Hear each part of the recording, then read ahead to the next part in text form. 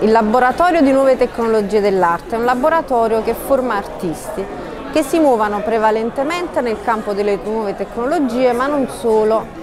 E la capacità che acquisisce una, uno studente che studia, che si forma nel nostro laboratorio è, mm, sono capacità che gli permettono di affrontare e di muoversi in maniera trasversale in quelli che sono i linguaggi e le competenze che un artista dovrebbe avere. Eh, siamo studenti del eh, corso dell'Accademia Belle Arti di Nuove Tecnologie dell'Arte. Questo è il nostro laboratorio. Eh, fondamentalmente noi siamo abituati a questo, a lavorare tutti quanti insieme trasversalmente. Che vuol dire trasversalmente? Vuol dire che io e Emanuele stesso non siamo dello stesso anno, però ci ritroviamo spesso a lavorare insieme con persone del primo, del secondo anno, anche più grandi come uh, del secondo biennio. Una delle cose più importanti per noi è appunto la relazione su cui pensiamo che si basa l'intero laboratorio. Questo ci permette, oltre a lavorare tutti quanti insieme, anche a stringere dei veri e propri legami uh, che poi uh, portiamo avanti negli anni e che ci permettono secondo me anche di lavorare uh, sempre meglio. All'interno del, del, laboratorio eh, noi docenti non ci mh, proponiamo come eh, professori, cioè coloro che professano una materia, ma come educatori, come insomma, la figura del maestro.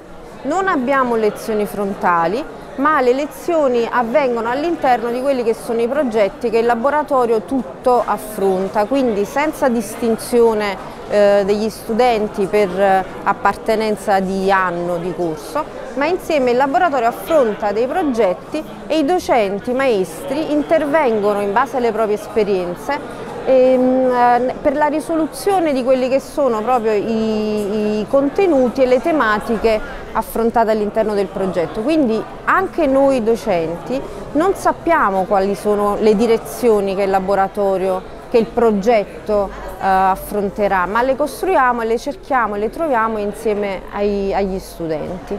Il momento in cui uh, le matricole iniziano a approcciarsi al laboratorio uh, con il giorno dei colloqui, in pratica il laboratorio fornisce a ogni persona un patto formativo. C'è diciamo, un foglio su cui sono scritte tutta una serie sia di regole del laboratorio ma anche di concetti su cui si basa la nostra didattica. In realtà qui lavoriamo um, direttamente a dei progetti, in quanto crediamo che la teoria e la pratica uh, vadano di pari passo. In questo, in questo scenario i professori, o come li chiamiamo qui maestri, uh, hanno un ruolo diverso, sono delle guide quindi sono coloro che indirizzano quello che è il, il progetto oppure magari uh, dei pensieri, dei concetti a cui lavoriamo ma senza mai influenzare troppo il lavoro che quindi è composto al 90% dai, dai vari studenti e vari iscritti al laboratorio. Quest'anno abbiamo deciso di focalizzarci su quelli che sono i 16 punti del manifesto, eh, preso di ispirazione dalla pubblicazione avvenuta per i 10 anni di NTA. I 16 punti del manifesto sono dei punti che cerchiamo di seguire quotidianamente all'interno del laboratorio. Ad esempio troviamo quello che è l'errore, inteso non come accezione negativa ma come un qualcosa che in realtà ti, ti spinge e ti sprona a crescere, individualmente però all'interno della collettività. L'anno scorso diciamo che per un anno il laboratorio si è preparato per affrontare Procida. Noi siamo sbarcati ad aprile appunto muniti di queste cioccolate dandole in dono ai procidani chiedendo solamente due cose, una foto e una scansione. Ha impegnato prima di tutto il laboratorio nel concepire l'idea di scansione 3D, uh, eh, di sviluppare un modello che sia uh, tra virgolette portatile perché ci serviva agire su tutta l'isola che sono 4 km.